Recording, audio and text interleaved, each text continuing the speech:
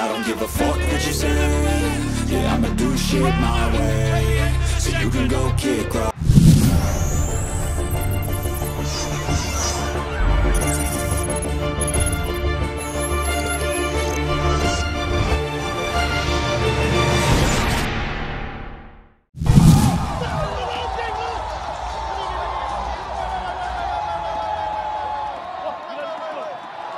Media Thailand, Thai League Central, mengabarkan bahwa Federasi Sepak Bola Thailand atau FAT sudah menjatuhkan hukuman bagi anggota timnas Thailand U22 yang melakukan pengeroyokan terhadap timnas Indonesia U22 di final SEA Games 2023 beberapa waktu lalu.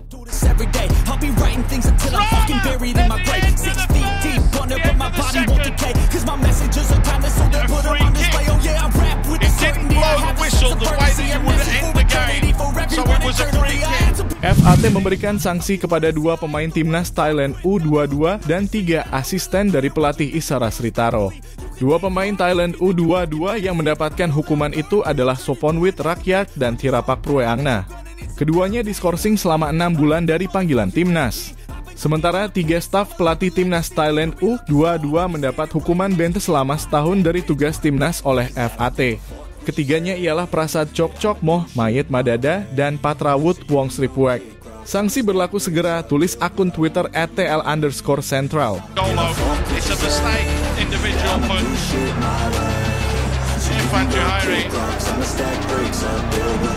With an absolute deft touch.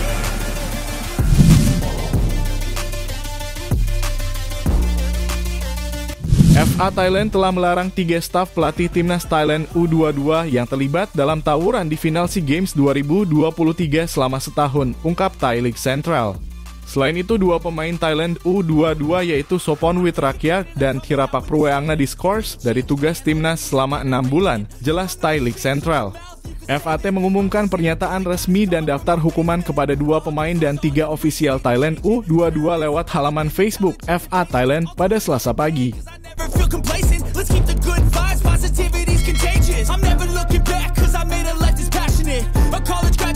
Suppressing all his talents, yeah. He found a way to go and change, become an advocate. For taking control of your life, go out and battle. And you think you have a dream, then act on it. Get after it, get out your head and fucking capture it. You got one life to master it.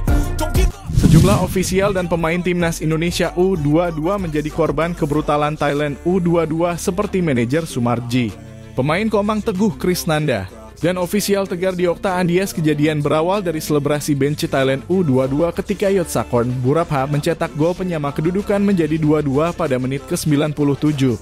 Wait, it's not gonna know! Drama at the end of the first! Drama at the end of the second! Drama's going on here. Indonesia thought that they'd won the game,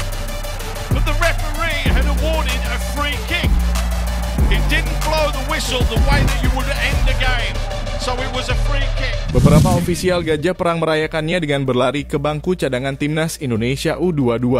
Aksi provokasi Thailand U22 itu dibalas ofisial timnas Indonesia U22 tatkala Irfan Jauhari mencetak gol ketiga.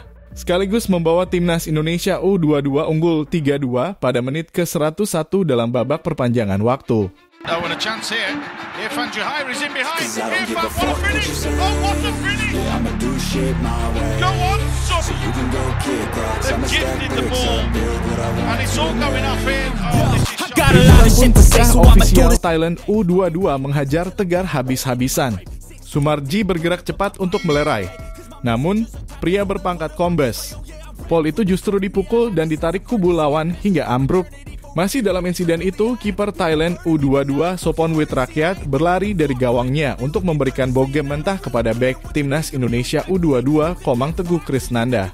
Buntut dari kekerasan yang dilakukan Thailand U22 itu, dua ofisial Thailand U22 dan Soponwit Rakyat di kartu merah wasit Matar Ali Al-Hatmi Kasim dari Oman.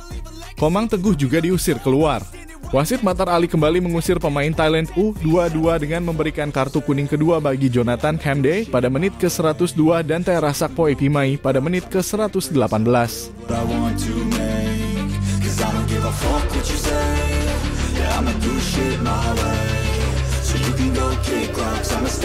So